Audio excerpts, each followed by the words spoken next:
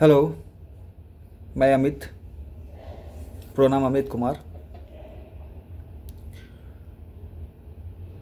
आज मैं आपके सामने हूँ। कुछ बातें थी जो करना चाहता था। मैं अपने समाज में, अपने सर्किल में, अपने देश के लोगों के साथ बांटना चाहता हूँ। देखते हैं, कहाँ तक मैं समझा पाता हूँ, कितनी बातें आप समझ पाएँगे।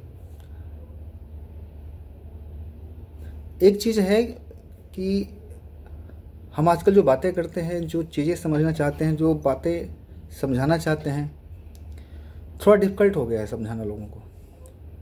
बट ऐसा नहीं है कि समझा नहीं सकते हैं। लोग समझ भी सकते हैं।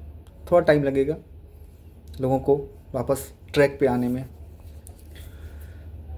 मेरी बात अमूमन आपको मिलेगी अपने भारतीय राजनीति के ऊपर। अपने स्टेट के पॉलिटिक्स के ऊपर, रोज़गार के ऊपर, शिक्षा के ऊपर, मौजूदा सरकार के काम काज को लेके, आज के समय में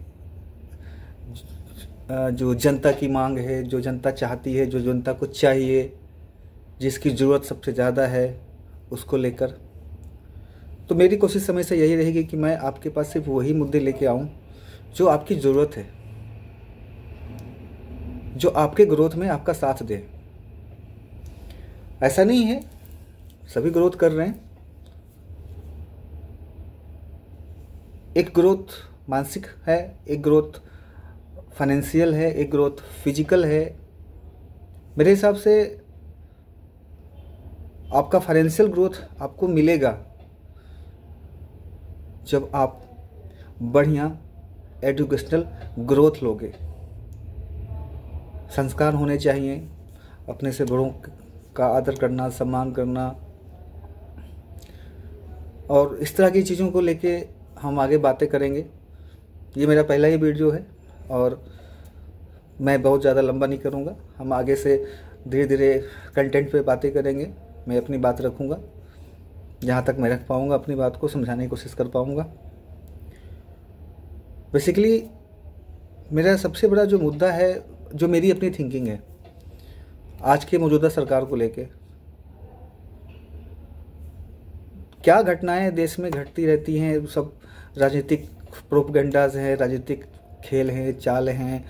आज जो सत्ता में है, उसके हाथ में पावर है, जो सत्ता में नहीं है, उसके हाथ में पावर नहीं है। जो विपक्ष में है, वो कुछ और चल रहा है। सभी अपने अपने जगह पे, सभी का मकसद सिर्फ़ एक ही है, वो है, किस तरह से धन बनाना। और आप तो जानते हैं पावर की भूख ऐसी होती है जहाँ सब कुछ ख़त्म हो जाता है। मतलब जिसके पास पावर है वही सबसे बड़ा है।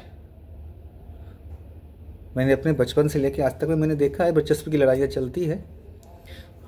हमने कभी काफ़ी सारे ऐसे केसेस अपने लाइफ में देखे कि आ, लोग अपना वर्चस्व बढ़ाने के लिए इस इलाके में, उस इलाके में, उससे आगे जाके, जहाँ तक वो पहुँच सके, वहाँ तक उनका नाम पहुँच सके, उन्होंने किया है। सरकारें बदलती गई।